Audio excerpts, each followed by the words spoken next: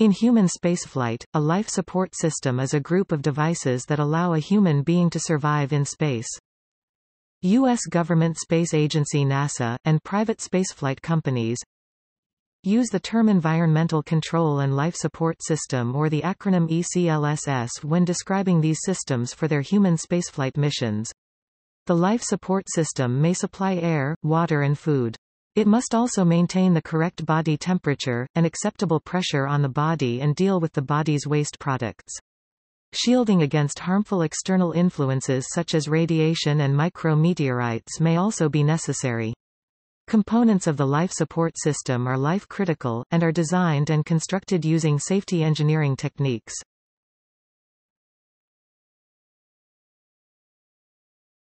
Topic. Human physiological and metabolic needs A crewmember of typical size requires approximately 5 kilograms 11 pounds of food, water, and oxygen per day to perform standard activities on a space mission, and outputs a similar amount in the form of waste solids, waste liquids, and carbon dioxide. The mass breakdown of these metabolic parameters is as follows: 0.84 kilograms of oxygen, 0.62 kilograms of food, and 3.52 kilograms of water consumed, converted through the body's physiological processes to 0.11 kilograms of solid wastes, 3.87 kilograms of liquid wastes, and 1.00 kilograms of carbon dioxide produced. These levels can vary due to activity level, specific to mission assignment, but will correlate to the principles of mass balance. Actual water use during space missions is typically double the specified values mainly due to non-biological use i.e. personal cleanliness.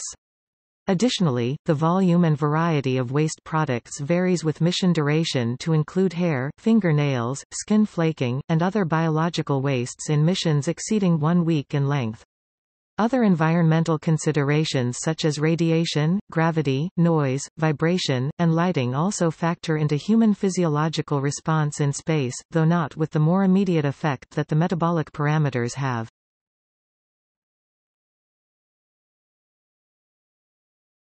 Topic. Atmosphere Space life support systems maintain atmospheres composed, at a minimum, of oxygen, water vapor and carbon dioxide. The partial pressure of each component gas adds to the overall barometric pressure.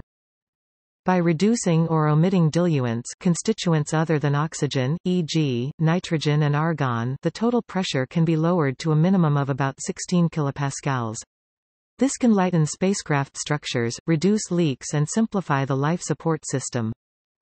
However, the elimination of diluent gases substantially increases fire risks, especially in ground operations when for structural reasons the total cabin pressure must exceed the external atmospheric pressure, see Apollo 1. Furthermore, oxygen toxicity becomes a factor at high oxygen concentrations.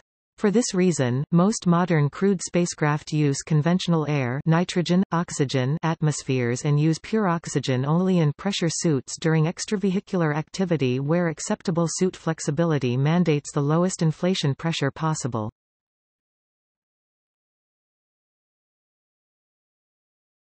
Topic. Water Water is consumed by crew members for drinking, cleaning activities, EVA thermal control, and emergency uses. It must be stored, used, and reclaimed from wastewater efficiently since no on-site sources currently exist for the environments reached in the course of human space exploration. Future lunar missions may utilize water sourced from polar ices, Mars missions may utilize water from the atmosphere or ice deposits.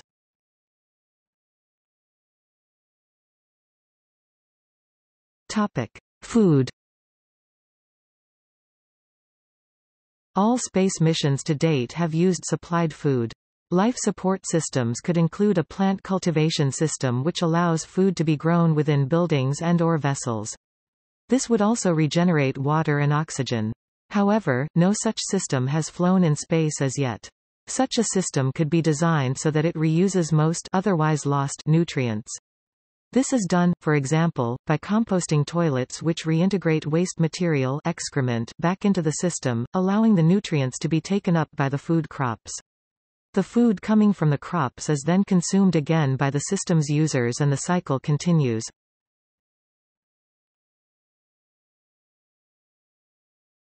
Topic. Space vehicle systems Topic Gemini, Mercury, and Apollo American Mercury, Gemini and Apollo spacecraft contained 100% oxygen atmospheres, suitable for short-duration missions, to minimize weight and complexity.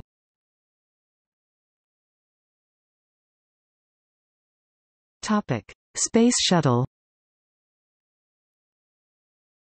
The Space Shuttle was the first American spacecraft to have an Earth-like atmospheric mixture, comprising 22% oxygen and 78% nitrogen. For the Space Shuttle, NASA includes in the ECLSS category systems that provide both life support for the crew and environmental control for payloads. The Shuttle Reference Manual contains ECLSS sections on, crew compartment cabin pressurization, cabin air revitalization, water coolant loop system, active thermal control system, supply and waste water, waste collection system, waste water tank, airlock support, extravehicular mobility units, crew altitude protection system, and radioisotope thermoelectric generator cooling and gaseous nitrogen purge for payloads.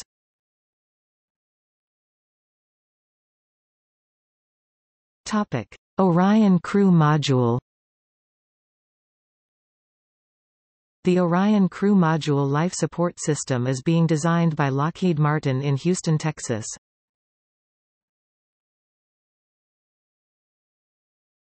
Topic: Soyuz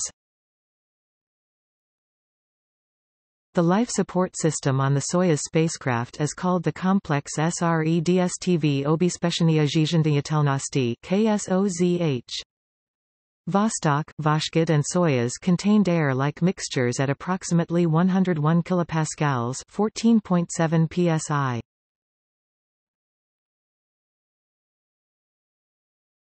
Topic: Plug and play. The Paragon Space Development Corporation is developing a plug-and-play ECLSS called Commercial Crew Transport Air Revitalization System CCTARS for future spacecraft partially paid for using NASA's Commercial Crew Development money. The CCTARS provides seven primary spacecraft life support functions in a highly integrated and reliable system, air temperature control, humidity removal, carbon dioxide removal, trace contaminant removal removal, post-fire atmospheric recovery, air filtration, and cabin air circulation.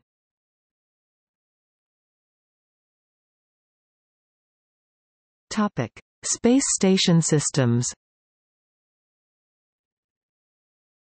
Space station systems include technology that enables humans to live in space for a prolonged period of time.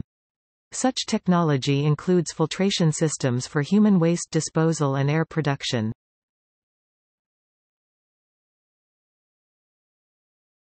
Topic: Skylab Skylab used 72% oxygen and 28% nitrogen at a total pressure of 5 psi.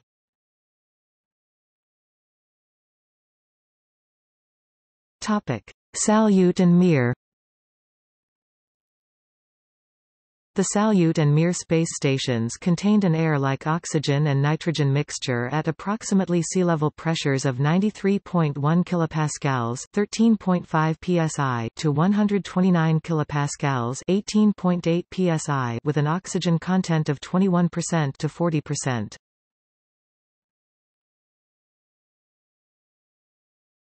Topic: Spacelab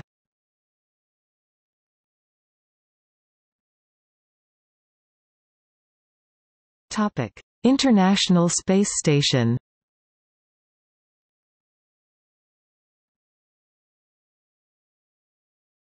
Topic: Bigelow Commercial Space Station. The life support system for the Bigelow Commercial Space Station is being designed by Bigelow Aerospace in Las Vegas, Nevada.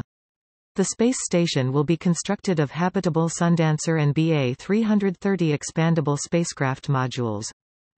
As of October 2010, Human-in-the-loop testing of the Environmental Control and Life Support System ECLSS for Sundancer has begun.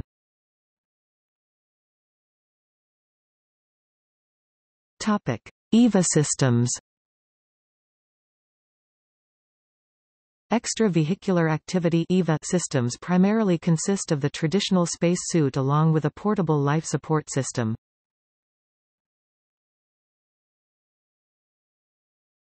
Topic: Space suits. Both spacesuit models currently in use, the U.S. EMU and the Russian Orlan, include primary life support systems PLSSs allowing the user to work independently without an umbilical connection from a spacecraft. A spacesuit must provide life support, either through an umbilical connection or an independent PLSS.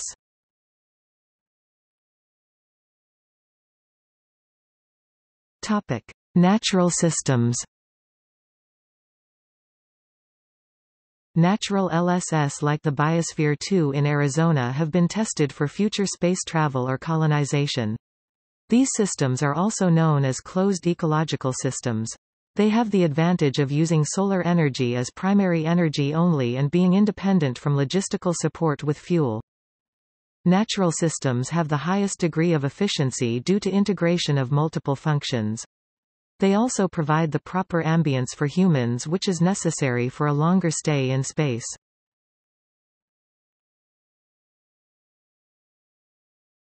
Topic. Life support systems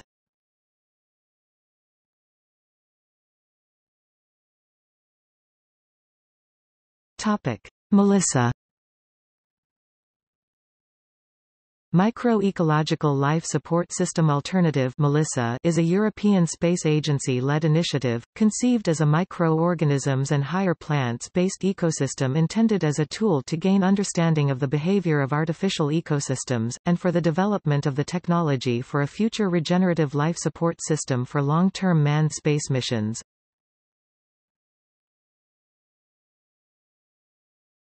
Topic. CyBLiSS CyBLiSS, cyanobacterium-based life support systems, is a concept developed by researchers from several space agencies NASA, the German Aerospace Center and the Italian Space Agency which would use cyanobacteria to process resources available on Mars directly into useful products, and into substrates for other key organisms of Bioregenerative Life Support System BLSS. The goal is to make future manned outposts on Mars as independent of Earth as possible explorers living off the land to reduce mission costs and increase safety. Even though developed independently, CyBLiSS would be complementary to other BLSS projects such as MELiSSA as it can connect them to materials found on Mars, thereby making them sustainable and expandable there.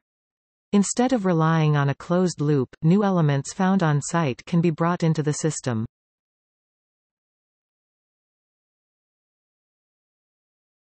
Topic. See also. Bioregenerative Life Support System BLSS Closed Ecological System. Chlorella pyrenoidosa Effect of spaceflight on the human body. Environmental Control System aircraft. International Conference on Environmental Systems. Primary Life Support System. Thermal Control System Artificial gravity Footnotes